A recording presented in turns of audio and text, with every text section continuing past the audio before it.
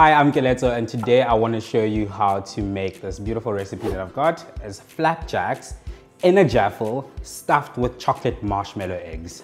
Booyah! Okay, cool. Let's talk about the flapjack mix. It's a very classic, simple recipe, but there's a hack, the Woolies flapjack mix. All you need is free-range eggs, milk, and some oil. What I'm gonna start with is some free-range eggs, always, always free-range, and then sugar. You just want to whisk this to combine. Doesn't have to be fluffy or anything. Not trying to work too hard. And then milk and some vanilla. Whisk away, whisk away. Dry ingredients go in here. Flour that I've sifted. My raising agent is going to be baking powder. I need two teaspoons. So you want to whisk your batter until it's lump free. If you've got a bit of lumps, don't stress about it. Now the secret with a flapjack batter, you always need to let it rest for 10 minutes on the counter, not fridge, don't cover it. Just let it rest for the flour to hydrate a bit. And that's what I'm gonna do. Marshmallow Easter eggs. So Woolies has this, this guy that is chocolate all the way through. So insane. And then there's the traditional guy with the yellow yolk inside.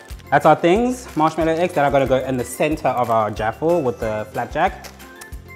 Jaffle iron, this is our baby here. if you don't have one of these, you can definitely use a snackwich. I'm gonna do this on the stove, but this is also amazing if you're going camping, you make your flapjack mix ahead of time, store it in a container, and just take this baby and then you're ready to go. Make it on the fire, boom, boom. I'm just gonna take some butter, and just like my mom and my gran always did, they save the, the paper from the butter. You just rip that paper off and use that to grease baking trays or whatever, but I'm gonna obviously use it to grease the, the jaffle irons. Get your heat on, jaffle iron on, and you want it to preheat a little bit. And then you wait just a second. Don't rush it. Enjoy the process, okay? If you're out camping, then you put it right in the coals. Let's take a spoonful of your flapjack batter.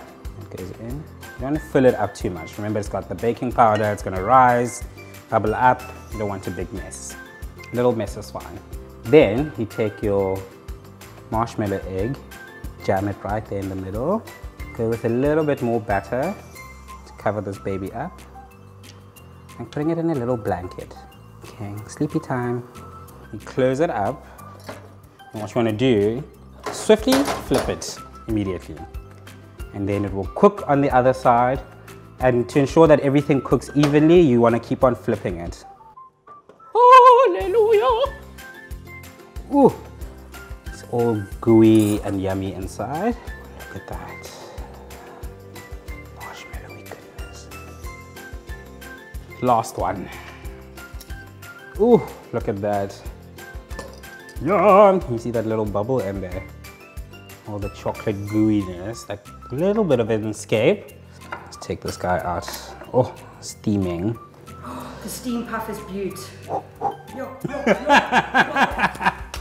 Golden syrup for the gods.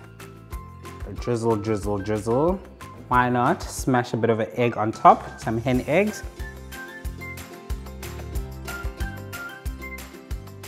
Let's take a bite. Mm, mm, mm.